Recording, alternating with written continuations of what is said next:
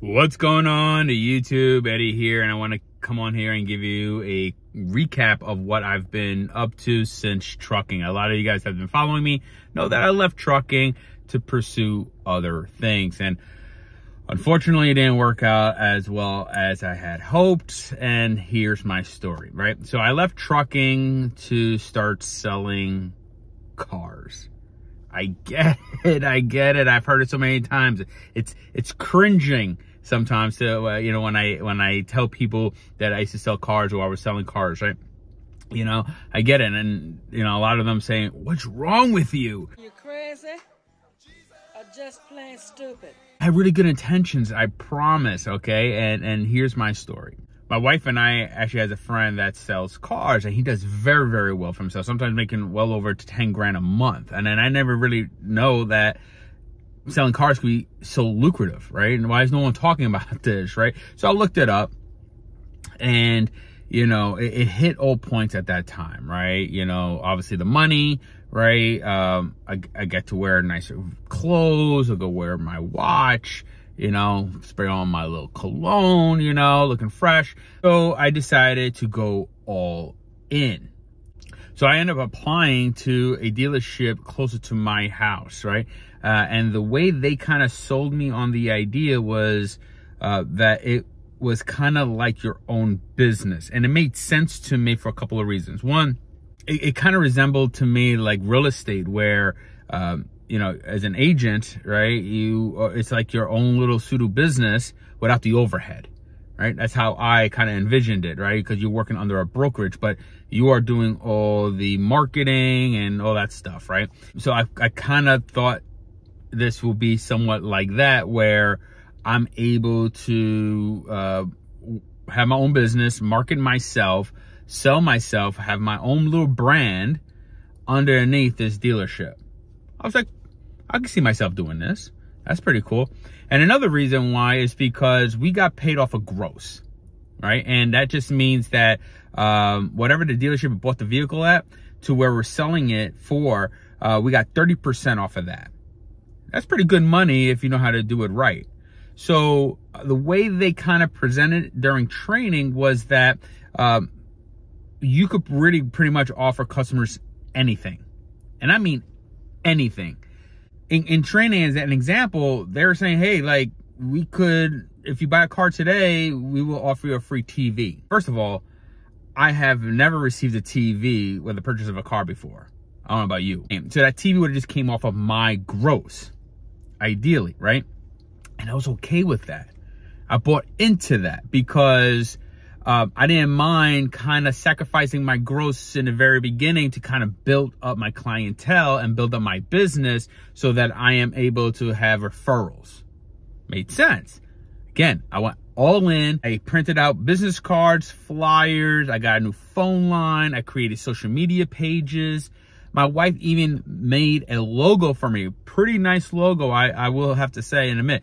By the way, as a side note, if you guys are interested in marketing yourself and want to create a logo or some business cards, reach out to me, put a comment in the bottom uh, below, and I'll reach out to my wife because that's what she does as a side gig. She did it for a few guys at the dealership as well. One of them actually owns a barbershop and she created a double-sided business card where one side was the dealership information and created his own little logo for the dealership specifically. And of course, on the back of it, on the reverse side, uh, it had information on the uh, about the barbershop. So I'm all in and I, you know, now I'm sitting in front of customers, right?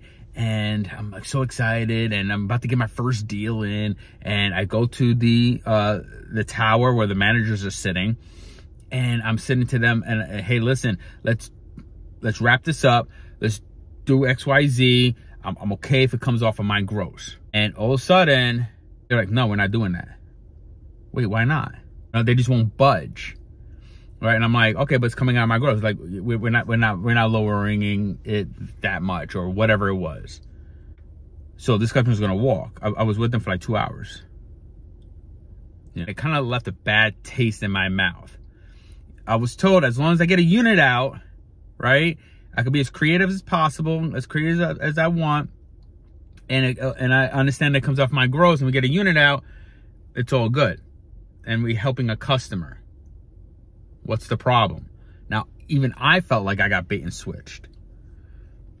Not a good feeling to have, right? It's really difficult for uh, for a dealership that pays salespeople gross and not come off as that sleazy salesperson. Because in order to get paid well, you got to jack up the price somehow. And people will do that. You'd be surprised how tunnel vision some customers are and not even realizing the sticker price. They don't know numbers until they are presented a pencil. And that's a shame, right? And uh, I'll tell you a quick story uh, that you know I overheard. A salesperson was helping out a customer, and a customer came in uh, with wads of cash because his dad had passed away and left him a lot of money. So the salesperson kept a mental note on that. So when it was time to present the pencil, he jacked up the price like a lot, like he, you know, so he could make a lot on gross.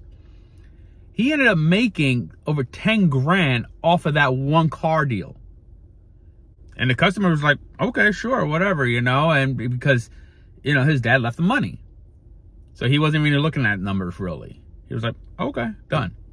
Not taking anything away from that salesperson. He knew how to uh, work the system at the end of the day, the customer, you know, everything's black and white, everything's transparent, signed it, and he was happy with it. It is what it is, right? It just doesn't sit well with me. I don't think that would be something I would even thought of doing, I'll be honest with you, right? So now I'm starting to think like, okay, this is really not for me. Then when I'm trying to do good things, I end up getting cursed out at. I got cursed out a few times actually, you know. One, I'm presenting the pencil, and this is when I was really, really new and they were they added add-ons. Most dealerships will have add-ons, right? Uh, whatever it's tints or you know tire wheel lock or some sort of like coating to protect the paint, all that stuff, right? Uh, so those are little add-ons, and that customer was furious furious. This is the first time I presented a pencil with him, and he saw that. He was like, what's these add-ons? No, I don't want that. He starts flipping. Didn't even give me a chance. Didn't even, like, negotiate. And be like, oh, maybe I could get rid of that. Maybe I could take a, you know, maybe, you know, discount that, whatever. He didn't even give me a chance. He just saw that, and he was like, you know, and he started cursing me out. It was just like, I'm there like, what did I do? You know, like his wife was, was trying to calm him down. She was like very apologetic, whatever. It steamed off, right? Uh, the other one I was trying, again, I built a really good rapport. Uh, it was a college student. You know, she saved a lot of money. She worked very, very hard. She had about 20K in her pocket, right? She wanted to buy a car, but she didn't want to use the 20K down, right? She didn't want to finance any any more than that. She just wanted to pay 20 grand. And she was happy with this vehicle that I presented to her. And, you know, uh, another shady thing to tie into that piece, that scenario was that the manager was like, hey, uh, 20 grand. So, hey, tell we'll give it to for 22,000. No one just has 20 grand and don't have extra li lying around. Like, are, are you really saying this to me right now? Is this really happening? So you already know that she has 20 grand. The entire time I'm talking to her, she's saying basically like, I don't want to pay no more than 20 grand and you want me to get another two grand out of her because you feel like she has an extra couple of thousand dollars laying around? And if she did, so what? Like, that's not what she wanted. You understand? So, uh, at the end of the day, we did give it to her, I think for even less than that. It was like 19 and change, right? So she was happy with it. Done. I went then to detail her vehicle, fuel it up or whatever, but you know, she had to go home and she said she's going to come back on Friday because she has to send some more paperwork for the finance and I'll do that then. Uh, because it was a used vehicle, uh, there was issues with her carpet. So, uh, I was like, okay, we'll take care of that as well. We'll look into it. So I wrote notes. I spoke to managers. I was off that Friday. So Friday comes, I'm off doing whatever I'm doing that day. I get a phone call, but I was busy, uh, and I'm checking my voicemail. And sure enough, it was her. Apparently, she went to the dealership. Not, no one knows anything, apparently, even though everything is written down. And I spoke to many managers saying, hey, listen, we owe her this, this, that, and that. Three hours she claims that she's been waiting and no one's been doing anything. And she says she claims she's waiting on me. And she's like, you, Eddie. And I'm like, and now I'm the bad guy, right? So I called the manager, I called the store, and you're like, oh, it's taken care of, whatever. It's like a damn if I do, a damn if I don't. I, I was really trying to help. We actually, I built a really good rapport up to that point. At that point, it was just like, I'm kind of like a little checked out, you know, and I'm like, all right, um, this is not going well. this is not how uh, it's going as I, how I planned.